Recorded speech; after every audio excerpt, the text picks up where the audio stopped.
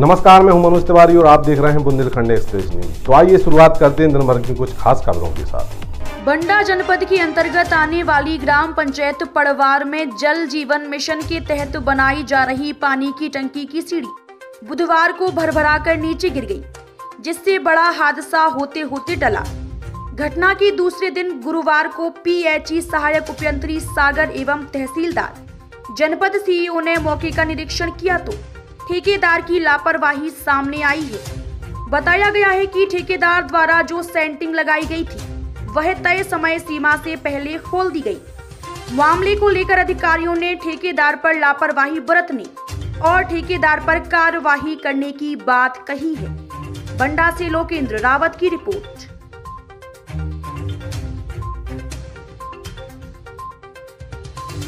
में हादसा हुआ है टंकी के मामले में। क्या घटना हुई थी वहाँ पे? निरीक्षण किया आपने?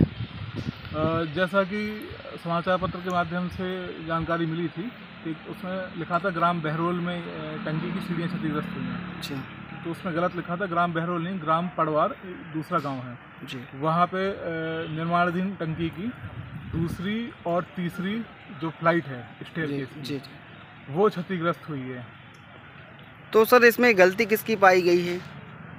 कैसे? इसमें ठेकेदार द्वारा सेंटरिंग तय समय से पहले निकाल देने के कारण ये इसमें पूरी वो स्ट्रेंथ गेन नहीं कर पाई।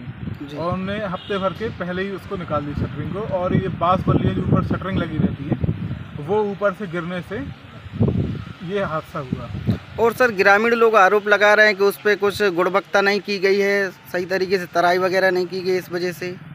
टंकी बने हुए लगभग दो तीन महीने हो चुके हैं। तराई उसकी नियमित हुई है और वर्तमान में भी वहाँ पे मटेरियल पड़ा हुआ है, उसकी भी जाँच कर ली है। रेत अच्छी क्वालिटी की है और जो गिट्टी पड़ी है, वो भी अच्छी क्वालिटी की है। जी, ठीक।